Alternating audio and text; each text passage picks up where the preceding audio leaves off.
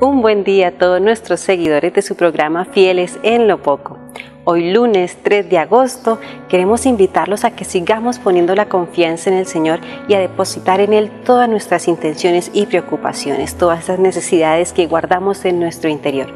Por eso en este momento de oración vamos a disponernos para orar con este hermoso salmo.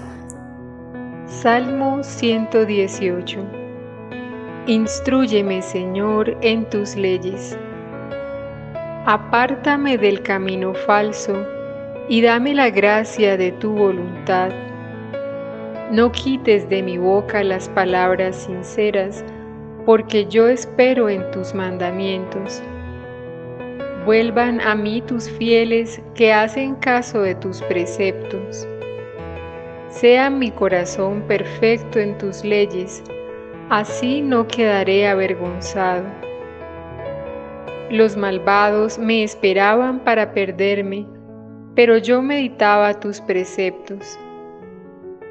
No me aparto de tus mandamientos, porque tú me has instruido. Instrúyeme, Señor, en tus leyes.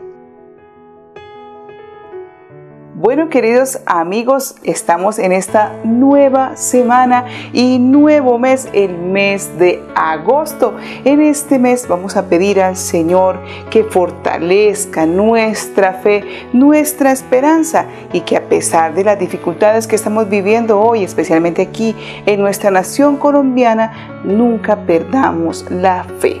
Y hoy tenemos el Salmo 118.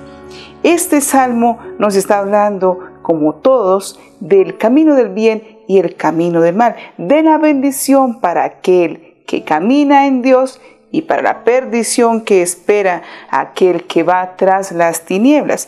Y vamos a retomar esta quinta frase que está diciendo, los malvados me esperaban para perderme, pero yo meditaba tus preceptos. Realmente es muy interesante cómo este salmo está diciendo, Señor, mira, los malvados me esperaban para perderme. Entonces, queridos hermanos, ojo, ojo con las invitaciones que recibimos de otras personas, especialmente de aquellas que están por caminos y senderos que no son nada santos.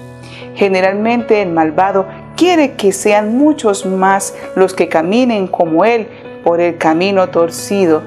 Dios nos pide que caminemos rectamente y en eso estoy muy de acuerdo con Santa Teresita del Niño Jesús. Ella decía, y en sus escritos quedó plasmado, el hecho de que ante un pecado yo prefiera huir no significa que yo sea débil significa que soy prudente y que precisamente prefiero huir del pecado que hacerme el valentón, la valentona y decir, ah, con esto puedo, esto no va a pasar nada. Yo me voy a encontrar a solas con mi novio, con mi novia, que ahí no va a pasar nada. Ah, yo me voy a encontrar con mis amigos y me tomaré una o dos cervezas. Y así las invitaciones del malvado, como dice el Salmo 118. Los malvados me esperan. Ellos tienen paciencia, son perseverantes y van a estar ahí invitando e invitando e invitando a hacer el mal. Ojo, no escuchemos a los malvados y sigamos el camino del bien.